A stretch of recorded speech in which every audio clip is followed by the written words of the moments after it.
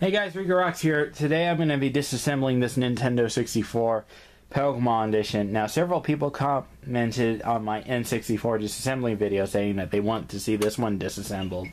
And I apologize for not making this video as soon as possible, but as the saying goes, better late than never. Also, another thing, I actually have two of these special edition N64s. In fact, here's another one, for example. This is actually the Japanese one. It's supposed to be a lighter color, but unfortunately it's discolored, as you can see. The inside where the expansion is, it's supposed to be a lighter blue than this, so this basically discolored, but one of these days I'm going to do a retro bright, uh, retro bright method and try to get this the original color. Also, the power switch you may notice is discolored. The white is yellow, and you know how it goes. I'll talk about this N64 in a different video, or showcase it in a different video. But right now, I'm going to disassemble this one. If you remember me disassembling a N64 in that other video, it would look something like this one. This is not the same one. This is a slightly later model. This is a 1998, well, 1997 model, excuse me basically the motherboard says 1996-97 on this one. The one that I did in the other video I don't have with me anymore. I actually traded it with cash from a friend of mine. But aside from that, an N64 is an N64. So let's go ahead and disassemble it. Now, when you're disassembling an N64, you need to take out a jumper pack or expansion pack. If you buy the expansion pack, you'll have the tool that comes with it, but I don't have the thing. So basically, I'll just use a small enough tool that pries it out. You do the same with the jumper pack, and you know how the rest goes. When you're finished, when you take the expansion pack or jumper pack out, you then turn your system upside down and you're presented with six screws. I'll go ahead and jump cut the video up to show taking the lid off. So, also when you open up an N64, or if you want to open one up, you'll need one of these special security bits. It's called a game bits. You will not find this in a hardware store. You'll have to buy it online, whether Amazon or eBay. You won't be able to find it in a hardware store. Or you could try the Bic pen method if you want, though it's not that easy, so I say buy the bit online. So, jump cut. On the special Pokemon N64s, the American ones, the Japanese ones, or even the European ones, it doesn't matter. They're all shaped like this you're going to need to be careful because there's an extra wire hanging out right there. So you don't want to accidentally snap a wire off of either here or the motherboard because soldering it back in is kind of a pain in the you know what. So to disconnect it, you grab it right there and then basically you're good to go. And let's take a look at the motherboard. It looks identical to your typical N64 motherboard, but it looks somewhat slightly different mainly because the heatsink is placed differently. In fact, I'm going to go ahead and cut the video and take apart a normal N64 and show you what its motherboard looks like, so bear with me. In fact, if you're wondering what the original N64 motherboard looks like, here's what it looks like without the top case. You may notice some differences. Aside from the LED, while this one here, it's on the board right there, this one uses an external connector soldered underneath one of the controller ports, that being this one. Another difference is how many the heatsink uh, is laid out on these later motherboards or the really late motherboards. I like how the heatsink is placed on this one. It gives a much better perspective of keeping your N64 nice and cool. The older method basically had these extra eight screws right here and you got two blocks underneath there that with that thermal pad and uh, that basically keeps the system cool. Both of them have the third one right there on that one. But this one, they basically made two holes right here and basically use this part of the heatsink to press with those thermal pads and uh, keeps the system cool that way. On these earlier ones, like I said, they have blocks on this one. So when you're disassembling this N64, basically you have eight less screws to deal with. You don't have these four here and these four here. You do still have these two screws here, these two black ones, these two with the little nut thing around them. You also have um, every other screw on here. basically the two on the AV and the AC adapter, the two in the cartridge slot, the five around here, and the one down there. Don't worry about these two screws. That's just basically to keep these two metal pieces together.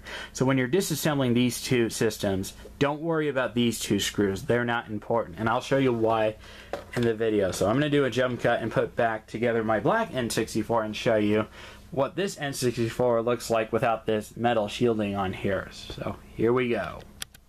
Okay, I took out all the screws except for these two, and I'm going to show you why you won't need to take out those two when you disassemble this N64 well, at least later models that have this design with the heatsink. For my European viewers, your clear blue N64, the Super Mario Edition, will have an identical motherboard to this one, with the exception of the LED right there. And all Pokemon N64s, however, some Japanese ones will have the block system, like I've shown, with the black N64. So let's go ahead and take out these pieces right here first, so we can get to the motherboard. You have three pieces one right there that fell out, one another one that fell right over there, and this portion. Let's move these out of the way. And now let's take this board off, or this heatsink off. There we go. See, you don't need to take these two screws off unless you need to clean this heatsink and this metal shielding. To do that, basically, you would need a pair of pliers to hold this side and a uh, screwdriver to hold this side. Taking it off is kind of challenging, but putting it back on, well, if you've done this several times like I have, it's simple. But if it's your first time doing this, don't bother with these screws. So that's all I have to say for that. And here is the N64 motherboard.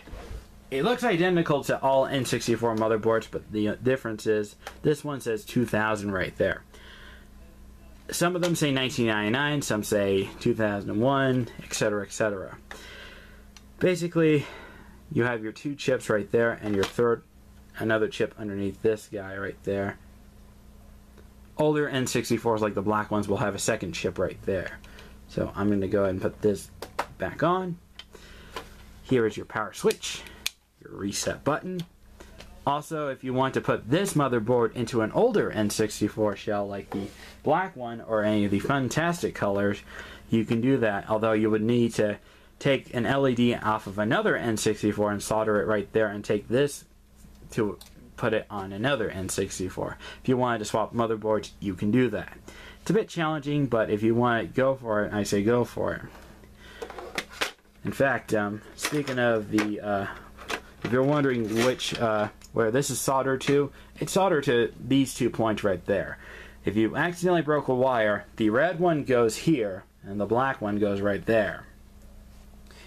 It's soldered to player 4. And these are the controller ports. They all look to be in good condition. And they all work perfectly. I've taken this apart and I've cleaned it several times. It works perfectly. So now I'm going to go ahead and reassemble it. So I'm going to go ahead and get all the screws back in and basically reassemble it. Alright, I reassembled the motherboard to the plastic bottom of the casing of the Pokemon N64. A few things I'd like to point out. Hopefully you'll remember which screws go where if you're wondering to reassemble. The, the silver ones go on the power connector and the AV cable. The shorter normal gold screws go right here, here, here, here, and here, and one right there. Be sure this portion tucks in right there. The two short silverish or gold screws go right here. The ones with the washers around them go here. The two black ones go right there. And don't forget, there's a plastic piece that, or a metal piece that needs to go right there. Also, one last thing. When you're putting the bottom portion with the wire right there, you want to be sure it's not pinching on the two uh, metal shieldings because that could damage the wire and you don't want to damage it too hard because finding a connector like this is not that easy or should I say um, fixing it or whatever. Now that you got that portion taken care of, the one last thing you need to do is reconnect this portion, the top with the LED PCB port. part. Excuse me, I had a brain fart. And basically, you connect the two like this, and then you place the top on like this. Now, before you reassemble it all together, I say test it out with a game, and then we'll see if it works. And don't forget to pop in the jumper pack slash expansion pack before you reassemble it, because otherwise it won't power on or display anything without the RAM because N64s need a jumper pack or expansion pack to play the games. So before you finish reassembling the screws, I say test it out with the games. Now before you reassemble the N64 completely, you'll want to test it out with a couple of games. Basically, I'm going to grab two games to test it out with. First, we're going to use Pokemon Puzzle League also known as Panel de Pon in Japan because Japan did not get Pokemon Puzzle League. They got Panel de Pon with Lip and a few other fairy-like characters. And to be honest, Panel de Pon looks like an awesome, fun version of Puzzle League, to be honest. So, here's Pokemon Puzzle League, and it fires on! I'm going to go ahead and grab a second controller to prove that basically, well, we know this game works because it boots up like that. Now let's go ahead and grab Super Smash Bros. and test out all four controller ports. Super Super Smash Bros. Also to the people who wrote in the comments on my uh, video where I was testing out my black N64, they wrote in the comments saying, You idiot, don't blow on the cartridges. I just want to say, for the record, um, when I finished filming that video, I cleaned it with a Q-tip and rubbing alcohol, so don't worry. I know about blowing on the cartridges is a temporary fix and a horrible permanent fix. It leaves residue and stuff like that. I take very good care of my games, so don't worry about this game dying on me because, like I wrote in the comments, I got the basically everything working. Since this is a Pokemon N64, we're just going to select Pikachu and prove that basically it works perfectly. I wiggle the controller port, nothing happens. Now I'm going to grab another controller and test it out. I got a new clear orange controller I found at a pawn shop. It was priced for um, basically a total of either seven, about eight dollars. Actually, no, it was ten dollars. It was definitely a good buy. you can't go wrong with a good N64 controller. And basically, nope, this controller works also. I'm gonna grab my Pokemon N64 controller and test that out. This is the matching controller that comes with that system. And let's select Pikachu.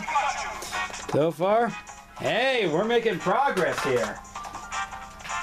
And for player four, I'm gonna use my special modified N64 controller. I'll make a separate video about this if anyone's interested. And, well, we have a winner. We get a fully functional N64. A good way to tell if your controllers are good, sometimes if you wiggle the solder joints that are soldered to the board, if any of the characters disappear and go back to a blank screen, you know the something's wrong with the controller port solder to the board. You would need to put fresh solder to fix that. This console didn't need that, thankfully, but my other Pokemon N64 did. Ironically, it was player 4 that was soldered to the uh, LEDs right there, where Pikachu's cheeks. There's two of them right there, if you're wondering. So, there you have it. That's testing N64. If it's fully functional, then you're good to go. That's my reassembly of well, disassembly and reassembly of the Pokemon N64. Now the last thing you need to do is use your game bit and put the screws back in. Or if you want to put regular Phillips screws in, they'll work fine as long as they fit in the slot perfectly. So that's all I gotta say. Thanks for watching my N64 Pokemon Edition disassembly video. If you like what you see here, then feel free to write in the comments. If you want me to make a video on the Super Nintendo disassembled or the Super Famicom, which I have, let me know in the comments. I'll be happy to do that. I'm signing off. Have a nice day.